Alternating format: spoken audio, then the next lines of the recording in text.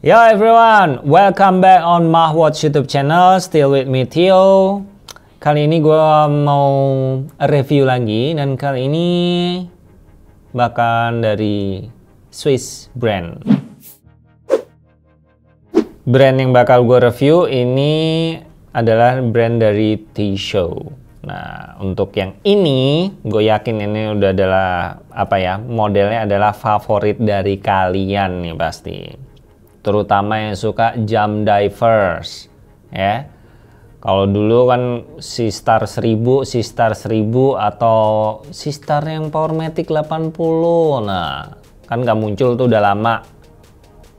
Sekarang muncul lagi. Nah, yang bakal gue bahas ini adalah The Affordable C-Star 2000 Ini Swiss watch ya gue bilangnya ya Swiss watch tapi harganya gue bilang masih ramah di kantong banget deh ya Dan ini udah masuk jajaran list atau line Swiss diver yang terjangkau banget Nah ini merupakan uh, facelift dari C-Star 1000 ya Nah apa aja sih upgrade-nya? Upgrade-nya ya udah pasti dari 1000 ke 2000 ya. Terus Powermatic 80 oke okay, udah punya semua kan nggak cuman ini aja yang sebelumnya juga pakai uh, Powermatic 80 yang artinya kalau terisi penuh dia uh, power reserve-nya bisa bertahan hidup sampai 80 jam ke depan.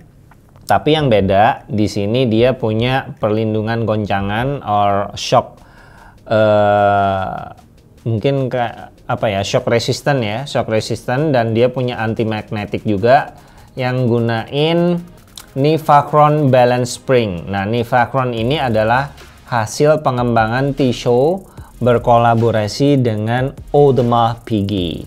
AP cuy, kolaborasi mereka. Upgrade-nya nggak cuma di situ aja, tapi dia ada upgrade fitur helium escape valve-nya yang meningkatkan water resistance uh, jadi 600 meter or 2000 kaki or 2000 feet ya. Nah, untuk fiturnya apa aja sih selain ini? Oke ya. Sekarang gue bahas di speknya. Speknya movementnya dia pakai automatic movement dengan kaliber Powermatic 80.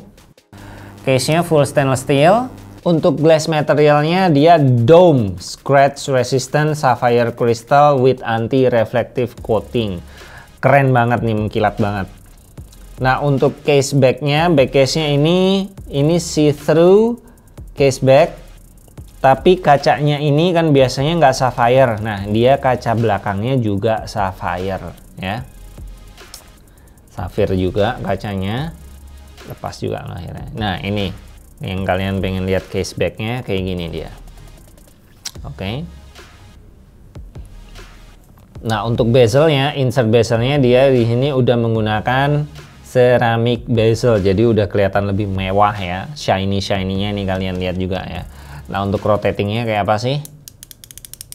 Hmm, not my favorite sound sih. Tapi oke okay lah. Agak sedikit rough ya. Klikinya berisik banget. Tapi tetap presisi Swiss made gitu.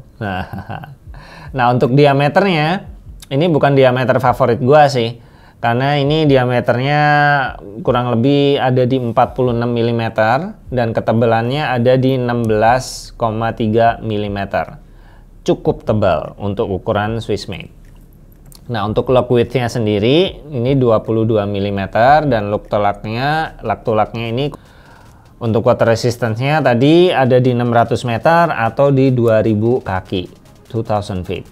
Oh iya, tadi gua lupa sebut salah satu speknya, dia ini udah bersertifikasi ISO Divers 6425. Nah, untuk talinya sendiri ini T-Show menggunakan uh, silikon rubber strap yang ergonomik banget. Jadi dipakainya itu bener-bener plek lembut banget di tangan ya. Nah, untuk fitur yang lain lagi, dia tentunya ada fitur hack and winding, ya. Terus yang bikin gua suka adalah posisi, ya.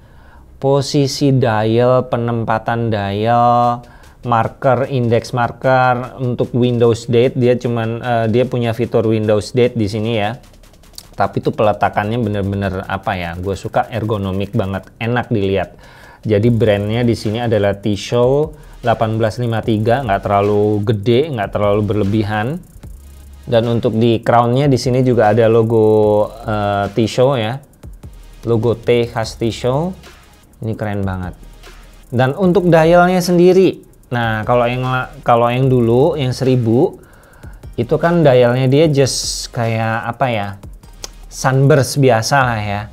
Nah kalau sekarang dia ada tekstur ombaknya dan ini keren banget karena ada gradient warnanya. Jadi kalau kalian lihatnya dari posisi ini sama posisi ini, posisi ini, di itu kayak 3D. Tapi mungkin di warna yang black ini mungkin masih belum terlalu kelihatan ya. Untuk yang sekarang ini speknya, spesifikasinya masih sama dengan yang hitam. Hanya aja yang di sini yang gue pegang adalah varian dengan uh, bracelet ya. Variannya bracelet atau dengan rantai. Nah di sini finishingnya dia glossy, polish ya. Untuk bagian tengahnya sini finishingnya polish. Nah kalau yang di sini ini sebetulnya gue bilang bukan polish, tapi gue bilang matte juga bukan, tapi lebih ke brush ya. Cuman bener-bener good finishing sih. Finishingnya cakep banget. Warnanya agak-agak sunblast gitu yang bagian sini ya. Kacanya juga tetap sama. Nah ini yang gue pegang adalah varian blue ya ini warna bluenya classic blue kalau gue bilang sih karena warna blue-nya itu bener-bener yang kayak Superman blue terus ada gradient black-nya gitu sih nah, untuk spesifikasinya masih tetap sama dan yang paling gue suka adalah warna ini. Spesifikasinya masih sama. Dan sebetulnya di sini juga ada tekstur ombaknya juga, tapi nggak terlalu kelihatan. Nah, di sini ini yang paling kelihatan banget. Ya, ini namanya blue-nya agak-agak teal atau mungkin blue ocean gue bilang atau mungkin ada yang bilang Tosca, whatever ya. Kalian bebas aja nyebutnya ini yang gue bilang 3D-nya itu dapat banget. Jadi kalau kalian dapat ngelihat dari sini, itu kelihatan bener-bener kayak apa ya, berkilauannya kayak bener-bener kalian ngelihat laut gitu loh. Ini nice banget sih. Walaupun ini bukan limited, ngeringnya, stoknya juga nggak bakal nggak bakal beredar banyak gitu loh. So buat kalian yang mau berburu si affordable Swiss Diver Watch ini kalian bisa langsung ke website. Oke, buat kalian yang udah keracun, silahkan sebelum kalian hunting jangan lupa subscribe. Kalau ada pertanyaan-pertanyaan, silahkan tulis di kolom komen. Yang suka silahkan klik tombol like, yang nggak suka silain silahkan klik tombol like juga. Oke? Dan jangan lupa loncengnya dinyalain just in case di channel ini gue bakal bawa surprise-surprise buat kalian. So, buat kalian yang mau berburu ke website, buat si 2000-an ini, silahkan ya, langsung kepoin website kita. Happy hunting and happy shopping and this is my favorite color. Oke, okay? Jangan salah pilih ya. Walaupun warna ada selera kalian, jangan salah pilih. This is the coolest one. Oke? Okay? Okay, that's all and see you on the next video. Bye!